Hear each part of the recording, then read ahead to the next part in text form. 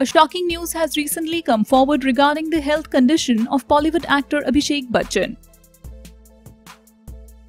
If the reports are to be believed, then Junior Bachchan has been admitted to hospital because of his injury.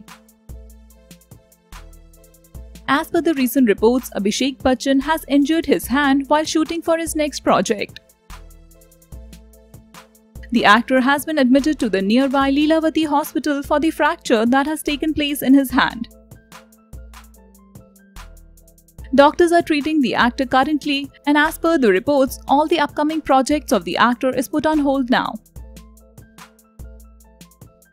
Recently, the actor was spotted bidding goodbye to his wife Aishwarya and daughter Aradhya at the airport.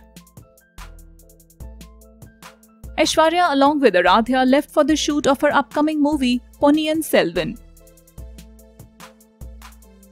After bidding goodbye to them, Abhishek Bachchan went to Lilavati Hospital and got admitted there to treat his hand. Reports suggested that while doing an action sequence for his upcoming project, Abhishek Bachchan got hurt and injured his hand. Abhishek Bachchan's father, veteran actor Amitabh Bachchan, along with Shweta Bachchan, his daughter, visited Abhishek Bachchan at the hospital.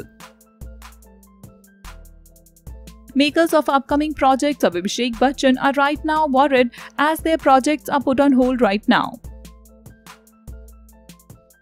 Abhishek Bachchan was working upon his upcoming projects like Bob Biswas and Dasvi. And the makers of these movies are facing huge monetary loss as the shoots are not happening because of Junior Bachchan's absence. The doctors of Lilavati Hospital have not revealed yet that when Abhishek Bachchan will get discharged. We, the team of Smoky Evening, pray for the speedy recovery of Abhishek Bachchan.